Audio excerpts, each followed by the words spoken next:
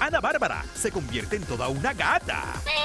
Con motivo de Halloween, la reina grupera optó por el disfraz de Gatúbela. Por su parte, Belinda y su amado Cristian Nodal se transformaron en payasos. Osuna junto a su hijo se lució como Black Panther frente a su mansión de casi 6 millones de dólares. Y Jennifer López como una virgen representando a la Madonna de los 80 cuando sacó esa famosa canción.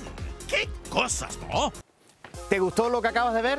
Pues tenemos más videos que seguramente serán mejores que, que acabas de ver. No te olvides de suscribirte a nuestro canal acá para que disfrutes de todo lo que tenemos para ustedes. Por ahora, eh, eh, también un like sería chévere.